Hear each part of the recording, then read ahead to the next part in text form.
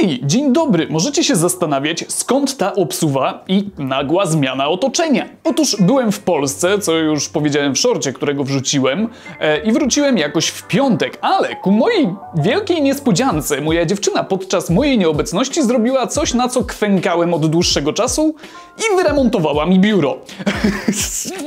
Wesołych świąt. Czy ty to nagrywasz? Jak? Nie jestem teraz pewny, czy się śni, mam jakieś halucynacje, czy co jest.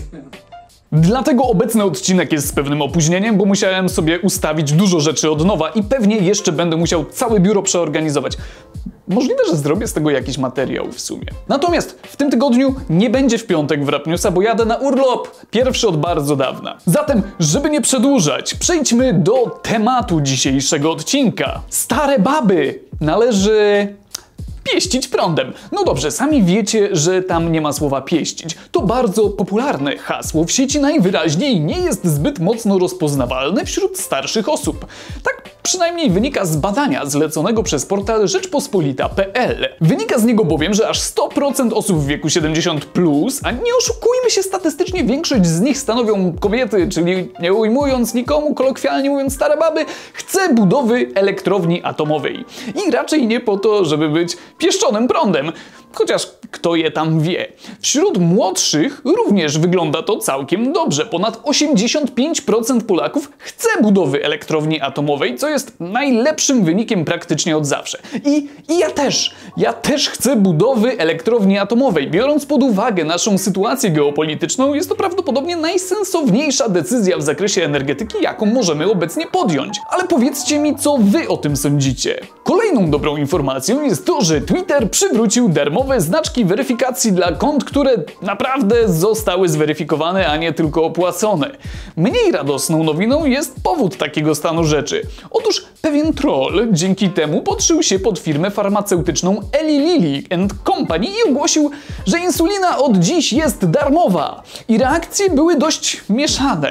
O ile osoby z cukrzycą były zachwycone i trudno im się dziwić, bo w USA insulina kosztuje chore pieniądze, tak inwestorzy już mniej. I akcje firmy poleciały na pysk.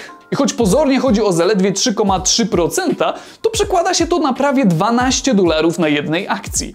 Oczywiście firma straciła, insulina wciąż jest płatna, ale przynajmniej Elon przywrócił stare zasady weryfikacji, więc nie jest tak źle, prawda? Ech, no cóż, dla Ilona jest źle, ale nie chcę dotykać tego clusterfucka, dopóki się całkowicie nie rozwinie, a wygląda na to, jakby ta epopeja miała nigdy nie mieć końca. No cóż, wizerunkowo gorszy numer wycięło ostatnio tylko niemieckie KFC, a raczej ich mm, pronazistowski bot.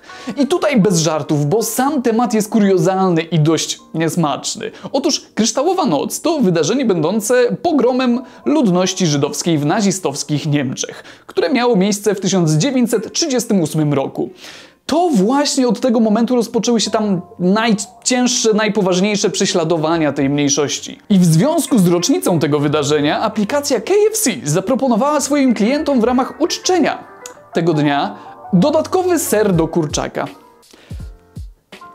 Wszystko to z powodu bota, który miał proponować drobne promocje na podstawie świąt z kalendarza. Niestety jednak jego twórcy nie wpadli na to, że nie każde wydarzenie w niemieckim kalendarzu to powód do dumy i dodatkowego gorącego sera. What the fuck? Gorąco na pewno zrobiło się prawnikom Nvidia. Otóż Lukas Genowa, właściciel feralnego ognistego RTX 4090, postanowił stanąć na czele pozwu zbiorowego przeciwko firmie. Chodzi tu o jakże gorącą sprawę, jaką jest topienie się adapterów zasilania w kartach graficznych. Sam Lukas podkreśla, że na montażu komputerów zjadł zęby, a przy RTX 4090 był szczególnie ostrożny, ponieważ był świadomy problemów, które miałyby wynikać z nieprawidłowego montażu karty. A mimo to jego egzemplarz i tak się stopił.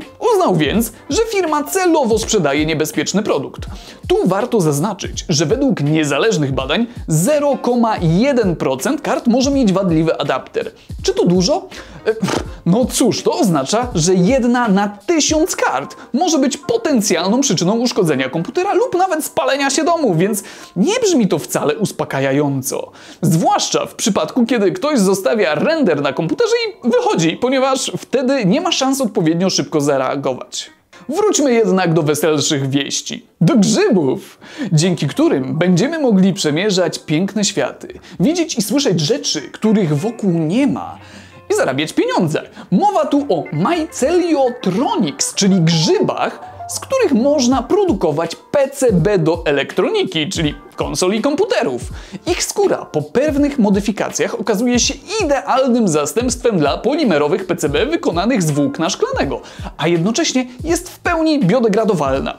Chociaż w tym przypadku raczej nie polecałbym szklanych obudów. Okazuje się, że tak przygotowana płytka może przetrwać naprawdę długo, nawet setki lat, chyba że wystawimy ją na działanie wilgoci i promieniowanie UV.